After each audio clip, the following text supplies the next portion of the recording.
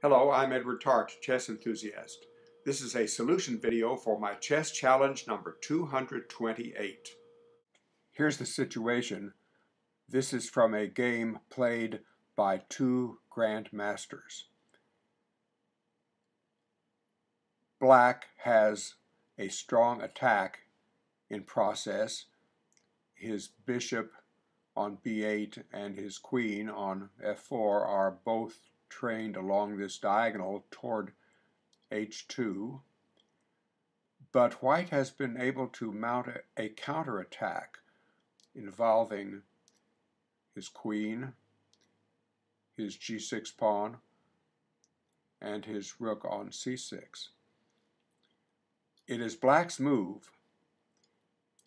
Black makes a move which not only strengthens his own position, but blunts White's counterattack, making it nearly impossible for White conti to continue his attack.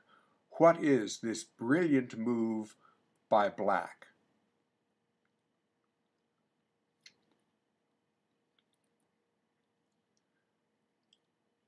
The brilliant move by black is pawn to f5, bypassing white's g-pawn. Now white's g-pawn is an obstacle to his own attack. And as my chess teacher Chien Ming said, white's queen and rook on c6 now look ugly. Black now has a very strong center including these pawns. The d pawn in particular is a passed pawn. Black went on to win. And there you have the solution to my chess challenge number 228. Thank you, Chien Ming, my fabulous chess teacher.